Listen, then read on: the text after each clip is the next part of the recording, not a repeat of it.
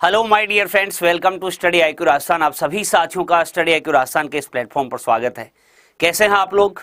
उम्मीद रखता हूँ मस्त होंगे, अच्छे होंगे, बिंदास होंगे, जोरदार होंगे और आपकी प्रिपरेशन जो है ये भी मेरे प्यारे साथियों, बहुत अच्छी चल रही होगी। गुड इवनिंग नमस्कार सभी साथियों का। एक बार फिर से मैं प्रवीण कुमार स्वागत करता हूँ। सभी के सभी मित्र जल्दी से जल्दी जुड़ जाएँगे। उसके बाद हम आज के इस सेशन की चर्चा को साथियों प्रारंभ करेंगे। तो आज का जो हमारा महत्वपूर्ण मुद्दा रहने वाला है, जैसा कि आपको विदित है डेली शाम पाँच बजे मैं आपके लिए उपस्थित होता हूँ और उसमें हम राजस्थान के किसी न किसी महत्वपूर्ण पहलू, चाहे वो राजस्थान के इतिहास से रिलेटेड हो या राजस्थान की कला एवं संस्कृति से रिलेटेड हो, जो हमारे राजस्थान में होने वाले एग्ज़ाम के लिए बड़े महत्वपूर्ण होते हैं, उनके बारे में हम डिस्कस करते हैं। इसी के तहत आज हम चर्चा करने वाले हैं स्वामी दयानंद सरस्वती और स्वामी दयानंद सरस्वती को जोधपुर में जहर जो दिया गया था, उसी संदर्भ में। आखिरकार स्वामी दयानंद सरस्वती का संबंध क्या था? राजस्थान वे क्यों गए थे? और राजस्थान में उनको जहर क्यों दिया गया? अर्थात राजस्थान के ही जोधपुर रियासत में उनको जहर क्यों दिया गया? यही आज के सेशन के मेन मुख्य मुद्दे रहने वाले हैं। वैसे तो हम social and religious reform in India, जब भारत में सामाजिक और धार्मिक सुधार आंदोलन पढ़ते हैं, तब हम स्वामी दयानंद सरस्वती के बारे में भी पढ़ते हैं। अर्थात इनके द्वारा जो सामाजिक सुधार आंदोलन के कार्य किए गए, उनके बारे में डिटेल से जानकारी प्राप्त करते हैं। लेकिन जो आज का हमारा मुद्दा रहने वाला है जैसा मैंने आपको बताया कि स्वामी दयानंद सरस्वती अपने राजस्थान वाले क्षेत्र में भी गए थे और मारवाड़ रियासत या फिर मैं यूँ कह दूँ, वर्तमान जोधपुर वाले क्षेत्र में जो राठौड़ राजवंश का शासक, शासन था, इसी राठौड़ राजवंश के शासन के दौरान जसवंत सिंह सेकेंड जो यहाँ के शासक थे, उनके काल में इनको जोधपुर में ही जहर दे दिया गया था। वह जहर क्यों दिया गया? उसके पीछे कारण क्या था? किसके द्वारा दिया गया था? क्यों दिया गया था? यही सब चर्चाएँ आज हम करने वाले हैं, आप अपने सभी मित्रों को एक बार जोड़ लीजिएगा शेयर कर दीजिएगा। शुरुआत इसकी की जाए। आपनो राजस्थान के तहत मैंने आपको यह बताया है कि राजस्थान के इतिहास एवं कला एवं संस्कृति जो आती है, साथ ही साथ जो और अन्य महत्वपूर्ण मुद्दे आते हैं, जो हमारे एग्ज़ाम के दृष्टिकोण से महत्वपूर्ण होते हैं, उन्हीं के ऊपर हम रोज चर्चा साथियों करते हैं। इसी के तहत आज हम बात थोड़ी सी बेसिक जानकारी मैं आपको प्रारंभ में स्वामी दयानंद सरस्वती के बारे में भी देना चाहता हूँ, ताकि आप लोगों को ये आइडिया लगे कि स्वामी दयानंद सरस्वती कौन थे और वे अपने मारवाड़ अर्थात जोधपुर वाले क्षेत्र में क्यों आए थे? क्या उनको बुलाया गया था? किस कार्य के लिए वे गए थे? ये सारी चर्चाएँ आज हम इस सेशन में करने वाले हैं। तो प्रारंभ की बात अगर मैं आपको बताऊँ, स्वामी दयानंद सरस्वती वही हैं जिनके द्वारा 10 अप्रैल अठारह ईस्वी की बात आती है 10 अप्रैल अठारह ईस्वी को स्वामी दयानंद सरस्वती के द्वारा आर्य समाज की स्थापना की गई थी। यह आप सभी साथियों को विदित भी होगा। अगर जानकारी नहीं है तो मैं बता रहा हूँ 10 अप्रैल अठारह ईस्वी को इन्होंने जो आर्य समाज की स्थापना की थी, वह मुंबई में इनके द्वारा स्थापना की गई थी।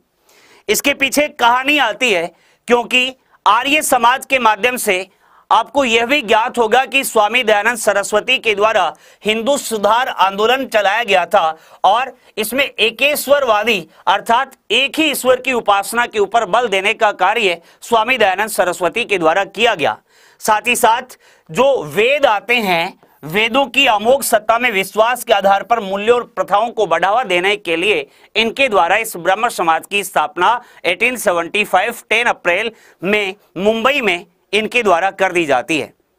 अब जो आपके स्वामी दयानंद सरस्वती हैं, इनके मूल नाम की बात अगर की जाए कई बार आपके ग्रेड फ़र्स्ट के एग्ज़ाम में ये पूछा जा चुका है, या फिर और जो अपने राजस्थान के जो एग्ज़ाम होते हैं, उसमें भी पूछ लिया जाता है। इनका मूल नाम जो था, यह मूल शंकर था, और बेसिकली ये गुजरात वाला जो क्षेत्र आता है, या मैं यूँ कह दूँ, काठियावाड़ गुजरात वाला क्षेत्र जो आता है, यहाँ पर 1824 1824 ईस्वी में स्वामी दयानंद सरस्वती का जन्म हुआ था। मैंने ये कहा, इनका बचपन का नाम जो था या फिर इनका मूल नाम जो था, ये क्या नाम था? मूल शंकर या कुछ जगह हमें मूला शंकर भी देखने को मिलता है। इनका देहांत जो हुआ, वह साथियों अठारह ईस्वी में कहाँ पर होता है? अजमेर, राजस्थान में होता है।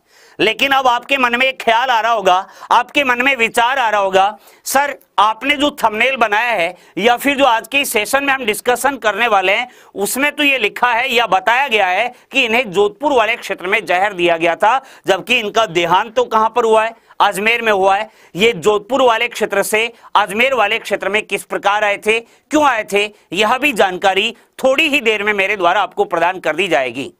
अगर आर्य समाज की बात की जाए तो आर्य समाज जो है, वह एक ईश्वर को मानता है। मैंने अभी अभी यह बताया था एकेश्वरवादी भारतीय हिंदू सुधार आंदोलन था, जिसके तहत भारतीय हिंदुओं को एक ही ईश्वर की उपासना करने के ऊपर बल दिया गया था।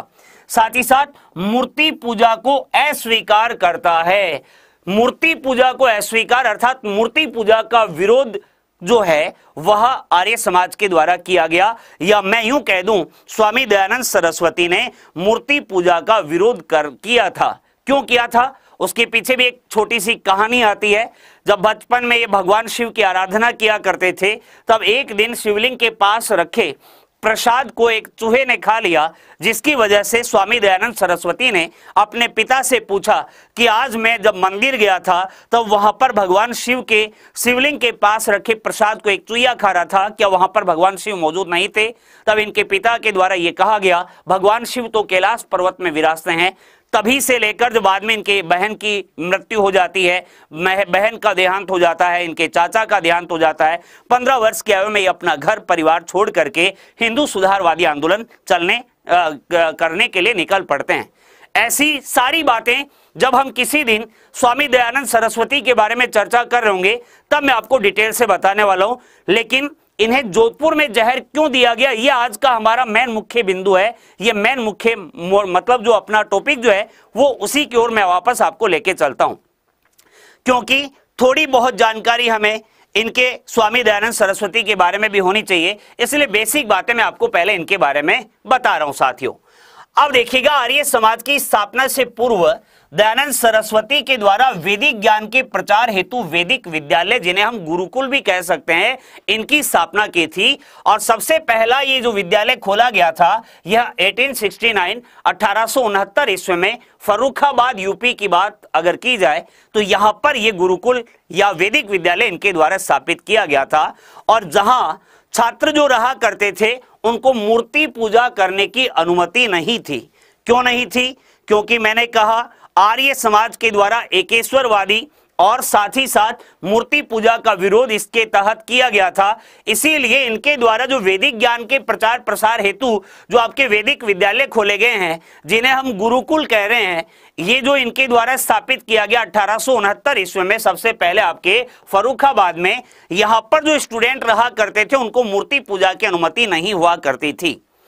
अब वेदों में अगर हम चर्चा करें तो धार्मिक अनुष्ठान जो आते हैं, जैसे यज्ञ की बात अगर की जाए, उनके बारे में डिटेल से जानकारी प्रदान की गई है। और यहाँ पर मैंने यही कहा, जो छात्र आपको यहाँ पर छात्र यहाँ पर रहा करते थे, वे वैदिक मंत्रों का उच्चारण किया करते थे, साथ ही साथ ध्यान साधना भी किया करते थे, और अग्निहोत्र हवन जो है, वह यहाँ पर रहने वाले छात्रों के द्वारा किया जाता था। अब देखिए वाराणसी प्रवास के दौरान जय किशन दास जो यहाँ के प्रशासक थे, कहाँ के? वाराणसी के।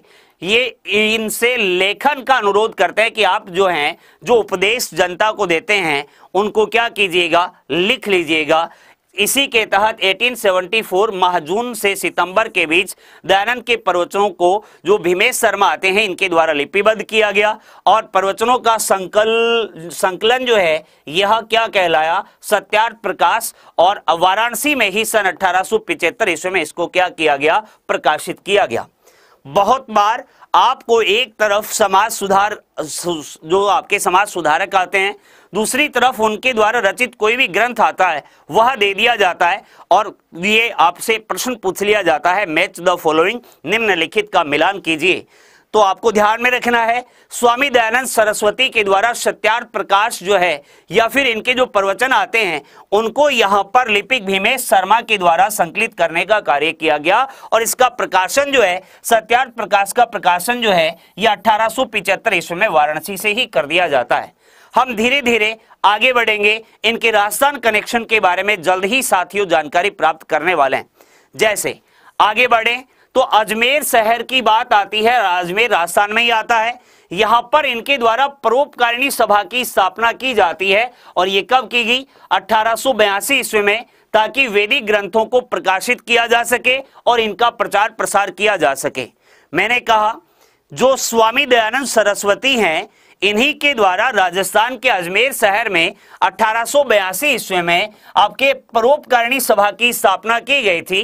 वैसे आपको ध्यान में यह भी रखना है कि सबसे पहले परोपकारिणी सभा की प्रथम स्थापना जो हुई थी, वह मेरठ में हुई थी अगस्त 1880 में।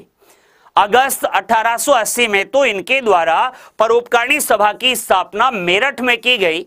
लेकिन अगर आपसे राजस्थान के संदर्भ में पूछ ले कि राजस्थान में इन्होंने परोपकारिणी सभा की स्थापना सबसे पहले कहाँ पर की, देन आपका आंसर क्या आ जाएगा?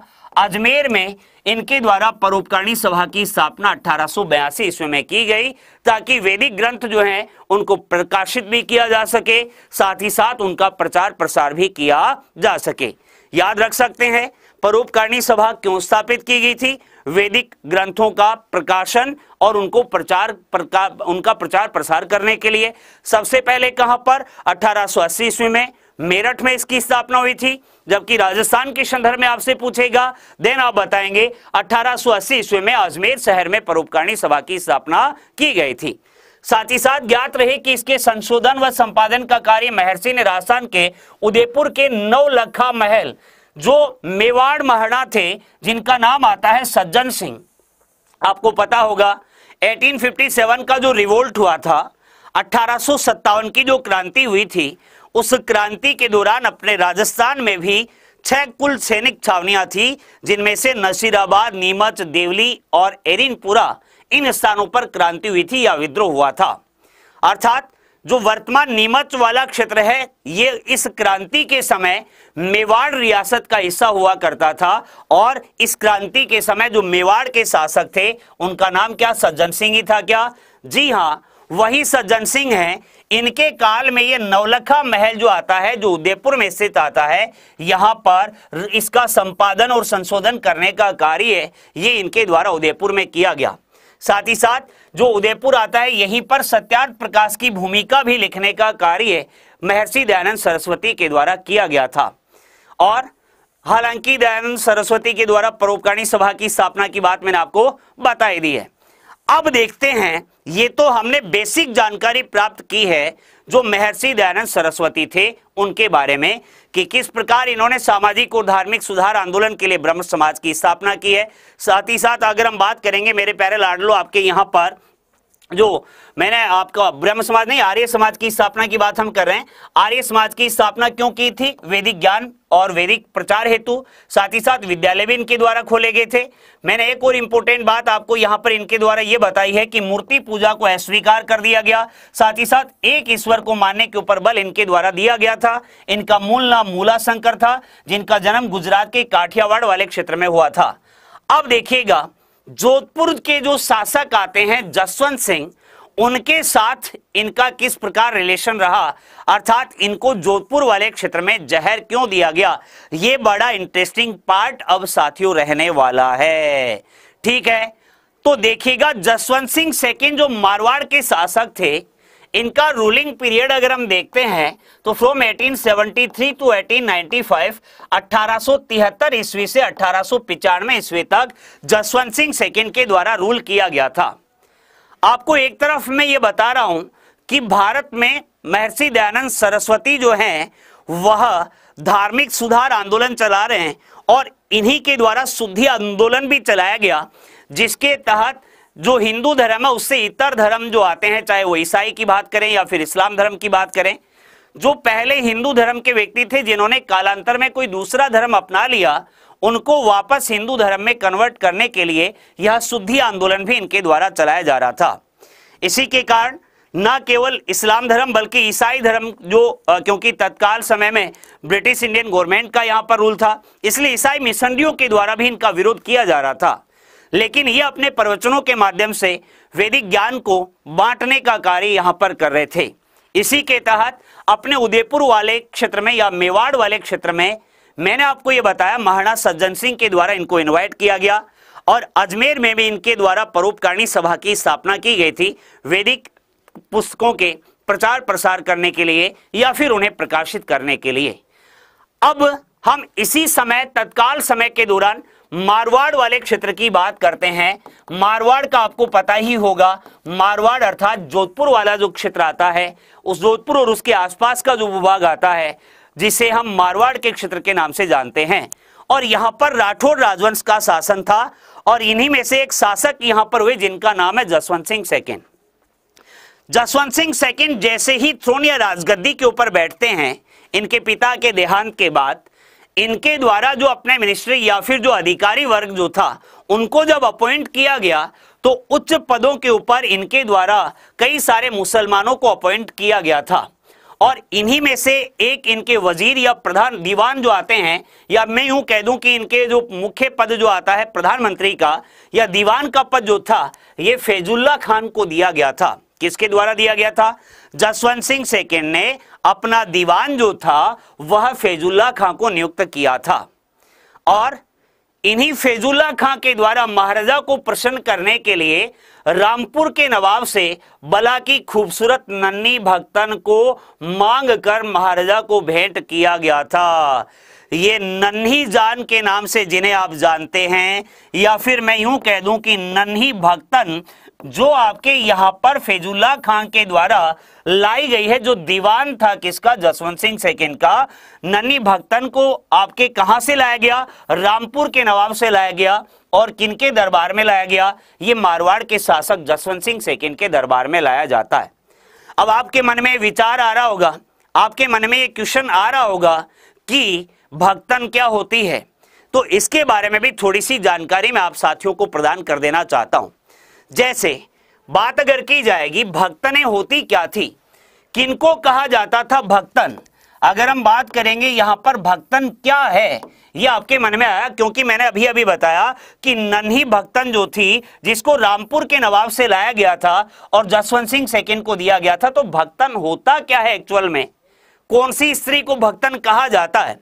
तो प्राचीन समय में क्या होता था? भक्त ने उन स्त्रियों की पुत्रियाँ होती थी, जिन्हें मिट्टी के गणेश जी से ब्याह कर साधुओं को उनकी साधना में सहायता के लिए दे दिया जाता या बेच दिया जाता था और उनसे पैदा होती थी।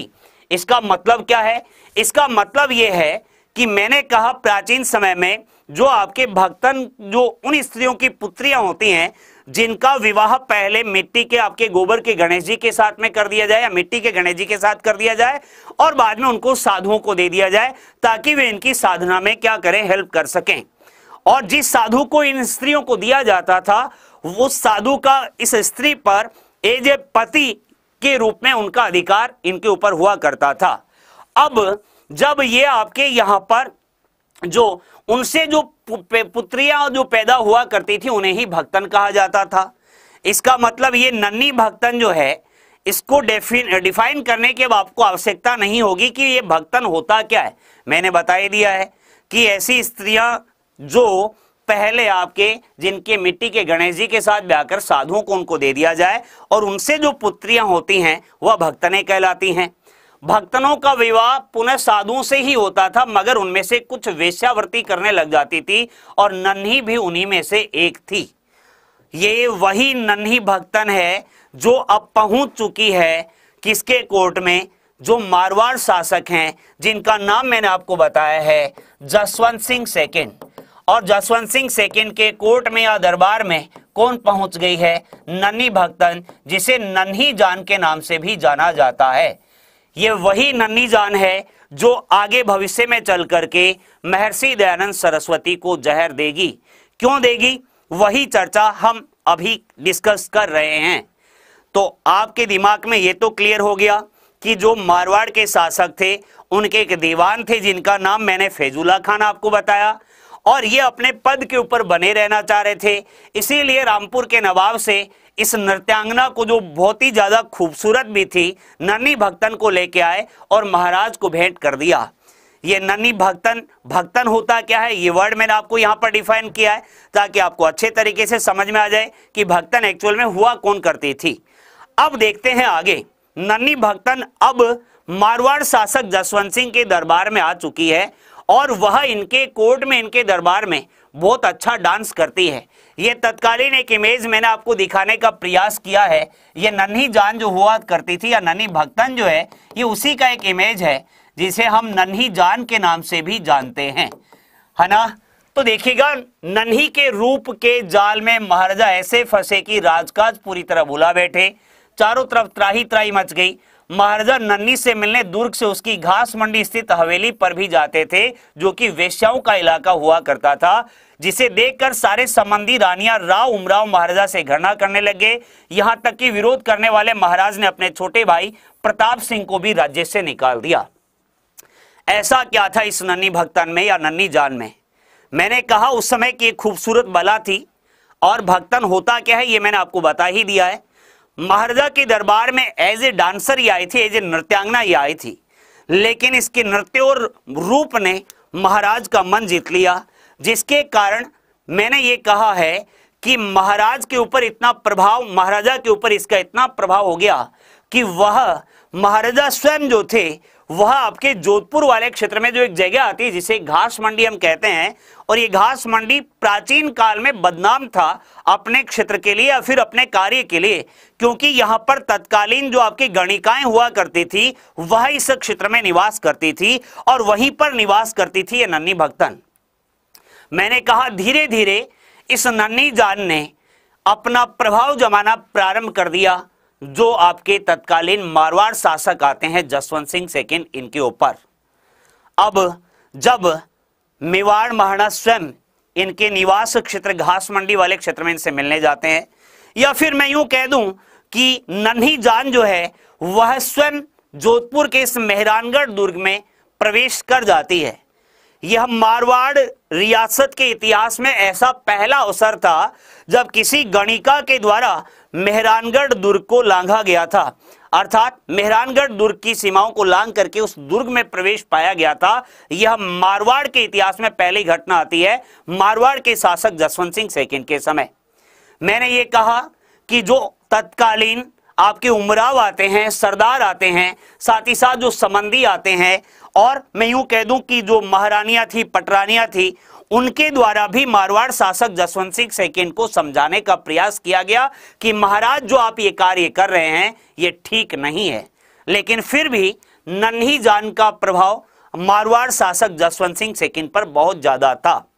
जिसके कारण अगर हम बात करें, महाराजा के द्वारा एक हवेली का निर्माण जो है, वह भी नन्नी जान के द्वारा नन्नी जान के लिए करवाया जाता है। और यह हवेली तत्कालीन घास मंडी वाला जो क्षेत्र आता है, यहाँ पर महाराजा के द्वारा इस नन्ही जान के लिए करवाया गया था। इस हवेली निर्माण के समय भी एक छोटी सी घटना घटित होती है, लेकिन उसके बारे में फिर कभी हम चर्चा करेंगे। इसके निर्माण के समय की बात अगर हम करें तो यह महाराजा जसवंत सिंह सेकेंड के काल में नन्ही जान के लिए यह हवेली जो है, यह आपके घास मंडी वाले क्षेत्र में बनाई जाती है। और इस क्षेत्र में ये जो हवेली बनाई गई, यह अपने आप में एक अनूठी हवेली थी और जिसके प्रांगण में दो भवन हुआ करते थे, जिसमें एक स्थान पर बैठ करके ननी जान, आम जनता या फिर मैं यूँ कह दूँ कि लोग बाग जो इनके संपर्क में हुआ करते थे, उनसे मुलाकात किया करती थी। और दूसरा इनका निजी निवास स्थान हुआ करता था। यह जोधपुर वाले क्षेत्र की बात आती है। साथ ही साथ अगर हम चर्चा करें, जो नन्ही जान आती है, नन्ही का जादू इतना था कि वो पहली गणिका थी जिसने दुर्ग की दहलीज को लांगा था। मैंने अब तक, अभी थोड़ी ही देर पहले आपको यह बताया था कि मारवाड़ के इतिहास में ऐसा पहला अवसर आया महाराजा जसवंत सिंह सेकंड के काल में कि नन्ही जान का प्रभाव महाराजा के ऊपर इतना हो गया था कि वह सीधे मेहरानगढ़ दुर्ग में जाया करती थी महाराजा से मिलने। न केवल महाराजा से मिलने जाती थी, बल्कि दरबार में भी वह महाराजा के पास कटार लगा करके ऐसे बैठा करती थी जैसे कोई महारानी बैठी हो। बेसिकली ये एक गणिका थी, लेकिन महाराजा के महाराजा ने जब, महाराजा के द्वारा इनसे जब प्रेम कर लिया गया, तब इस नन्ही जान का इतना प्रभाव मारवाड़ के क्षेत्र में, जो मारवाड़ के जो शासन चल रहा है जसवंत सिंह सेकेंड का, इनके दरबार पर इतना प्रभाव नन्ही जान का अपने को देखने को मिलता है। स्वयं महाराजा उनकी पालकी की आगमान आगवानी करते थे। जब इसकी डोली आया करती थी नन्नी जान की, ये नन्नी जान आपको यहाँ पर दिखाई दे रही है। एक अटेंडर अर्थात सेविका यहाँ पर अपने को दिख रही है। और ये मारवाड़ शासक जसवंत सिंह सेकेंड आपको यहाँ पर दिख रहे हैं। ऐसा नहीं प्रतीत हो रहा इस इमेज से जैसे कोई मारवाड़ की रानी बैठी है। लेकिन एक्चुअल में ये आपके नन्ही जान थी, अर्थात नन्ही भक्तन थी। भक्तन क्या होता है, ये मैंने अभी अभी आपको बताया ही है। मैंने ये कहा, जब भी नन्ही जान की पालकी, अब पालकी क्या होता है? जो आपने देखा होगा प्राचीन समय में जो सेवक हुआ करते थे, वह डोली को अपने कंधे के ऊपर लेकर के चला करते थे। चलते थे क्या? जी हाँ बिल्कुल चलते थे। तो उसकी आगमानी, आगमनी मतलब उसको रिसीव करने के लिए ये मारवाड़ महाराजा जो हैं, ये स्वयं वहाँ पर उपस्थित हुआ करते थे। मारवाड़ या फिर किसी भी रियासत में ऐसा ये पहला ही अवसर अपने को देखने को मिला, जब किसी गणिका की पालकी का स्वागत करने के लिए महाराजा स्वयं सम्मान करने के लिए रेस्पेक्ट देने के लिए स्वयं वहाँ पर जाया करते थे। और नन्नी भरे दरबार में उनकी बगल में कटार लगाए महारानियों की तरह बैठती थी। मैंने ये कहा था थोड़ी देर पहले कि नन्ही जान का महाराजा के ऊपर इतना प्रभाव हो गया था कि वह महाराजा के बगल में ही दरबार में बैठने लगती थी, लगी थी। अब जब ऐसा होने लग गया तो क्या नन्ही जान का दरबार के ऊपर अपना प्रभाव है या नहीं है? बिल्कुल आप कहेंगे, जी साहब, बिल्कुल है। नन्ही जान जैसे बोलेगी, वैसे मारवाड़ के शासक जसवंत सिंह करेंगे या नहीं करेंगे? अगर यह किसी भी व्यक्ति को अपॉइंट करना चाहेगी, या फिर किसी भी व्यक्ति को डिसअपॉइंट या पद से हटा देना चाहेगी तो क्या मारवाड़ शासक जसवंत सिंह सेकेंड द्वारा ऐसा किया जाएगा? बिल्कुल किया जाएगा, क्योंकि जसवंत सिंह सेकेंड के ऊपर तो प्रभाव आ चुका है किसका? नन्नी जान का। इसी के तहत मैंने यहाँ पर यह लिखा है, उसकी बोहे के बल मात्र से राव उमराव घबराते थे और उसकी जी हुजूरी मेरे प्यारे साथियों किया करते थे। कहते हैं कि एक बार प्रताप सिंह जी, अब देखिएगा ये प्रताप सिंह जी कौन है? मैंने कहा, ये जसवंत सिंह के आपके छोटे भाई थे, जिनका नाम आता है आपके प्रताप सिंह।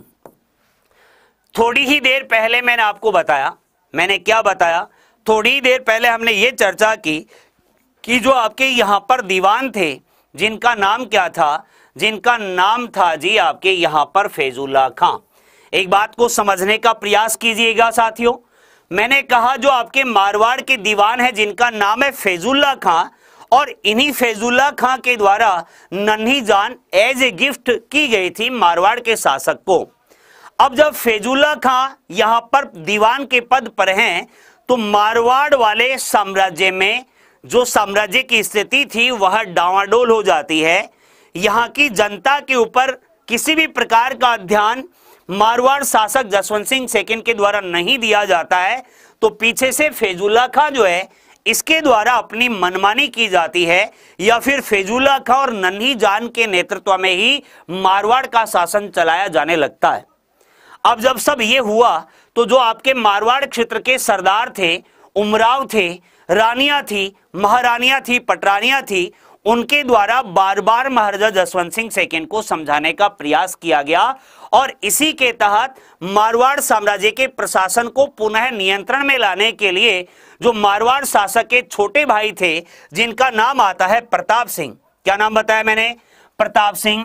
इनको वापस मारवाड़ वाले क्षेत्र में बुला लिया जाता है, क्योंकि थोड़ी ही देर पहले मैंने कहा था कि वे नाराज़ होकर के मारवाड़ का क्षेत्र छोड़कर चले गए, लेकिन मारवाड़ के राज्य की जब स्थिति ठीक नहीं थी, तब प्रताप सिंह वापस यहाँ पर आ जाते हैं।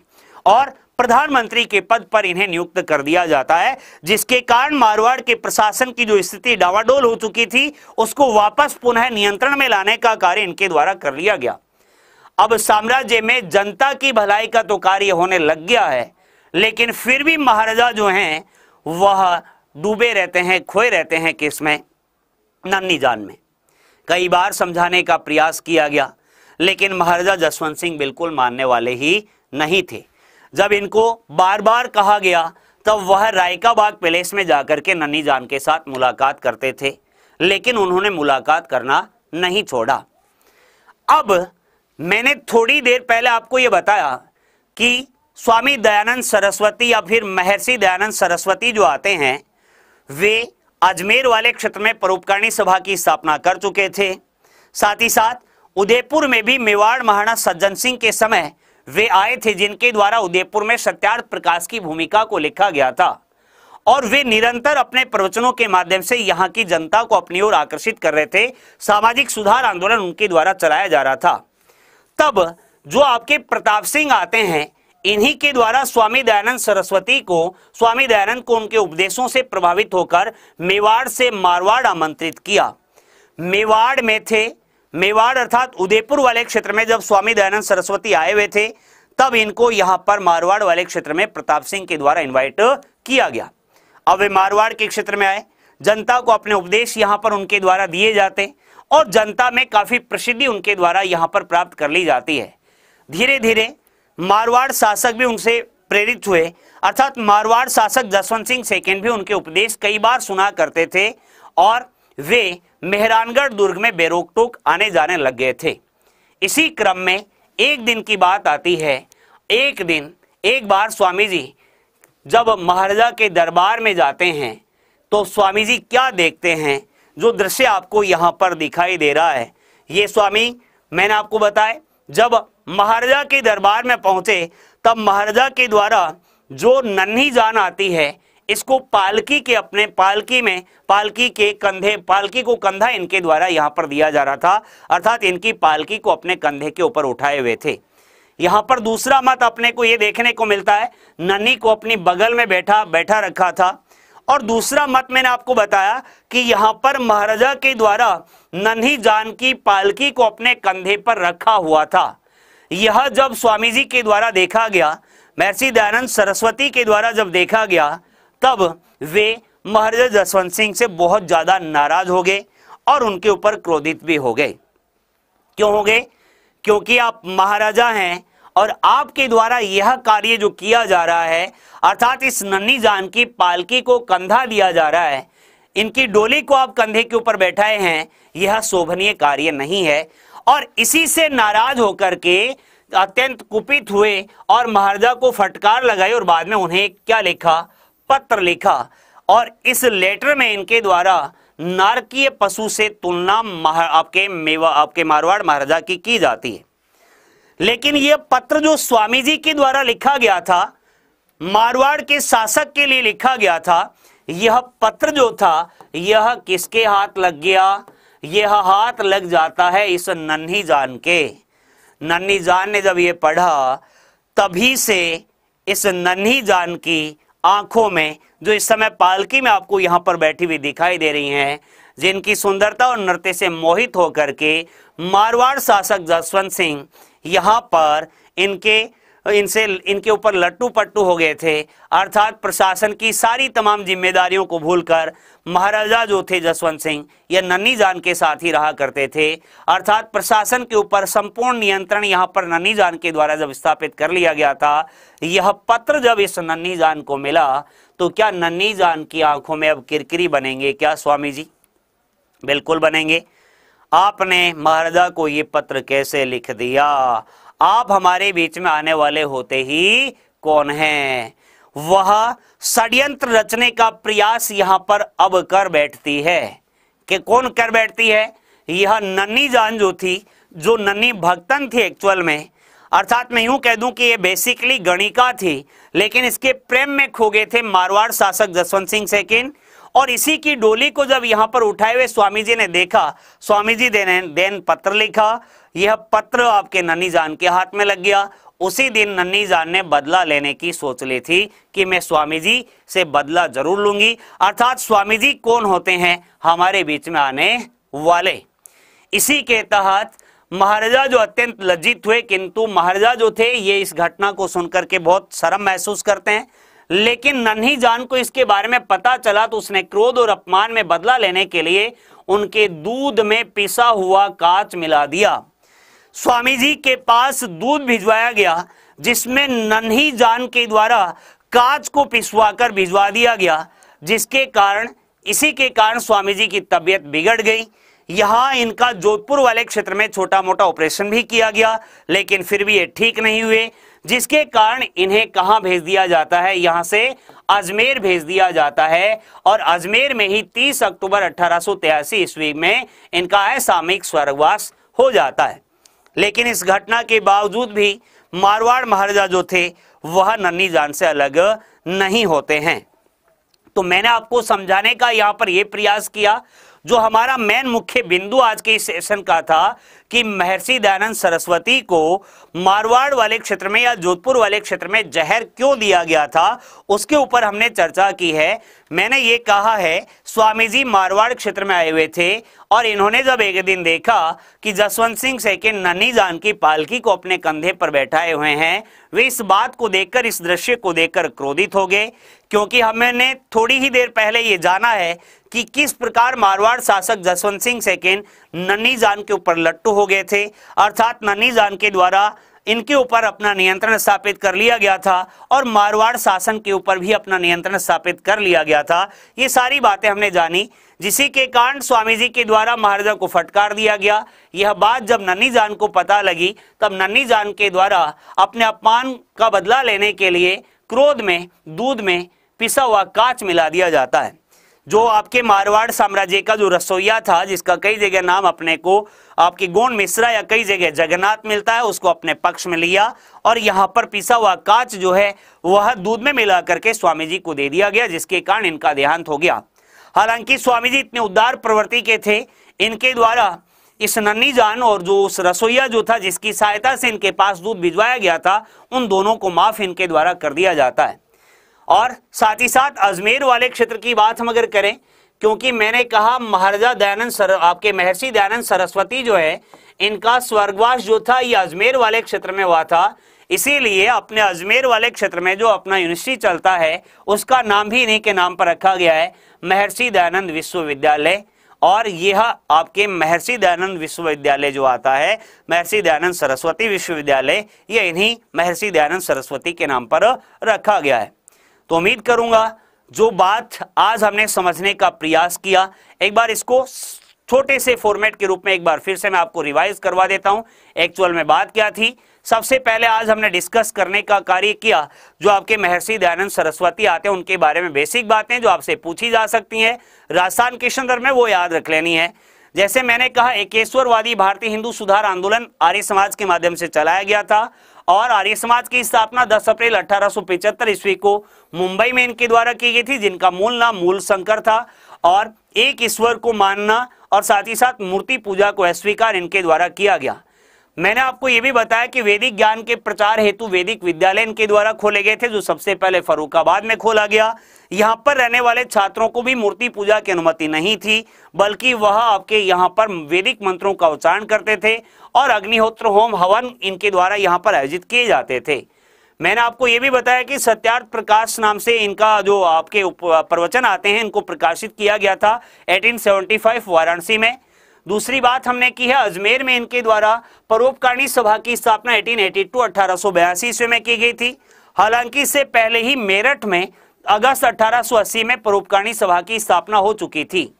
मैंने ये कहा, इसका आपके उदयपुर वाले क्षेत्र में जो महाराणा आते हैं, सज्जन सिंह, इनके काल में सत्यार्थ प्रकाश की भूमिका इनके द्वारा लिखी गई थी और मेवाड़ वाले क्षेत्र में ही आपके प्रताप सिंह जो थे, वे स्वामी जी से मिले थे और वहीं से प्रेरित प्रताप सिंह हुए थे, जिसके कारण उनको बाद में मारवाड़ में भी बुलाया गया। मारवाड़ में मैंने आपको ये बताया कि आपके जसवंत सिंह जो आते हैं, जसवंत सिंह राजगद्दी के ऊपर बैठे तब इनके द्वारा कई मुसलमानों को बड़े पदों पर अपॉइंट किया गया। इन्हीं में से एक दीवान थे जिनका नाम आता है फिजूला खान, जिनके द्वारा नन्नी भक्तन जो थी उनको रामपुर से बुला करके, रामपुर के नवाब से बुला करके आपके महाराज को भेंट किया गया। भक्तन क्या होता है यह भी आज के इस सेशन में हमने जाना। भक्तन उन स्त्रियों की पुत्रियाँ होती हैं जिन्हें मिट्टी के गणेश जी से ब्याह कर साधुओं से उनकी साधना में सहायता के लिए दिया जाता है या फिर भेज दिया जाता था। भक्तों का विवाह पुनः साधुओं से ही होता था, मगर उनमें से कुछ आपकी गणिकाओं का कार्य करने लग जाती थी और उन्हीं में से एक थी नन्नी जान नन्नी भक्तन, जिसका प्रभाव मारवाड़ के शासक पर हमने हमने ये देख, देखा आज के सेशन में, काफ़ी प्रभाव था। नन्नी के रूप के जाल में महाराजा ऐसे फंसे कि राजकाज पूरी तरह भूला बैठे चारों तरफ़ साम्राज्य में त्राही त्राही मच गई थी। नन्नी जान जो है, वो दुर्ग से मिलने, आपके दुर्ग से मिलने के लिए घास मंडी भी जाया करते थे। और मैंने ये कहा, इसी से इनके छोटे भाई प्रताप सिंह नाराज़ हो गए थे, जो मारवाड़ का क्षेत्र छोड़कर मेवाड़ वाले क्षेत्र में चले गए थे। अर्थात शासन के ऊपर पूरा नियंत्रण जो था, वो फैजुल्ला खान और नन्नी जान का हो चुका था। इसी नन्नी जान के लिए हवेली का निर्माण यहाँ पर जोधपुर वाले क्षेत्र में महाराजा के द्वारा करवाया गया। साथ ही साथ मैंने आपको यह बताया कि मारवाड़ के इतिहास में नन्ही ऐसी पहली गणिका थी या पहली वेश्या थी जिसके द्वारा मेहरानगढ़ दूर की दहलीज को लांगा गया था। अर्थात महाराजा उनकी पालकी का अगुवाई आगमन करने का कार्य, अगुवाई करने का कार्य भी करते थे। अर्थात मैं यूँ कह दूँ कि उनका स्वागत महाराजा स्वयं के द्वारा किया जाता था और यह दरबार में बगल में ही कटार लगा करके महाराजा के पास बैठने लग थी। अर्थात एक भक्तन थी जिसका प्रभाव मारवाड़ के प्रशासन पर हमें पूर्ण रूप से देखने को मिला। लेकिन जब प्रशासन की स्थितियाँ नियंत्रण से बाहर होगी, प्रताप सिंह को वापस यहाँ पर इनवाइट किया गया और इन्हीं प्रताप सिंह के द्वारा मेवाड़ से मारवाड़ आमंत्रित किया गया था किसको? स्वामी दयानंद को। स्वामी दयानंद सरस्वती जब आपके मारवाड़ वाले क्षेत्र में आए, तब एक दिन इन्होंने देखा यह दृश्य कि महाराजा स्वयं इस नन्नी जान की पालकी को उठाए हुए हैं। तो स्वामी दयानंद सरस्वती इनसे नाराज़ हो गए और इनको एक पत्र लिखा, इसी का बदला लेने के लिए नन्नी जान के द्वारा दूध में आपके पिसा हुआ कांच मिला दिया गया, जिसके कारण स्वामी दयानंद सरस्वती का क्या हो जाता है? देहांत हो जाता है। इनका स्वर्गवास जो था, ये अजमेर में हुआ था। 30 अक्टूबर अठारह ईस्वी में ये बीमार तो मारवाड़ वाले क्षेत्र में ही पड़ गए थे। ये जो जहर यहाँ पर दिया गया इस जान के द्वारा, इसी के कारण जब जोधपुर में इलाज संभव ना हो पाया, तब इनको अजमेर ट्रांसफ़र किया गया, लेकिन वे बच ना सके, इनका स्वर्गवास हो जाता है। और मैंने साथ ही साथ आज आपको यह भी बताया कि अजमेर में ही महर्षि दयानंद यूनिवर्सिटी आपका यहाँ पर संचालित किया जाता है। महर्षि दयानंद सरस्वती विश्वविद्यालय। तो साथियों, ये था आज का बड़ा ही महत्वपूर्ण सेशन। आखिरकार स्वामी दयानंद सरस्वती को जोधपुर वाले क्षेत्र में जहर क्यों दिया गया, यह जानकारी आपको संपूर्ण रूप से समझ में आ गई होगी। और जब भी कभी यहाँ पर आपसे एग्ज़ाम के एग्ज़ाम में इस संदर्भ में कोई भी क्वेश्चन पूछा जाएगा तो उम्मीद रखता हूँ आप लोग इसे बिल्कुल ठीक करने वाले हैं। ओके गाइस तो अगली मुलाकात कल एक नए विशेष टॉपिक के साथ होने वाली है। रोज शाम पाँच बजे आप राजस्थान जी के पढ़ना मत भूलिया कीजिएगा लाइक कर दीजिएगा शेयर कर दीजिएगा, और बहुत सारे बच्चों ने चैनल को सब्सक्राइब नहीं कर रखा है, वो भी कर लीजिएगा। बाकी की चर्चा कल शाम पाँच बजे इसी जोश के साथ पुनः होने वाली है। तब तक के लिए bye bye take care thank you so much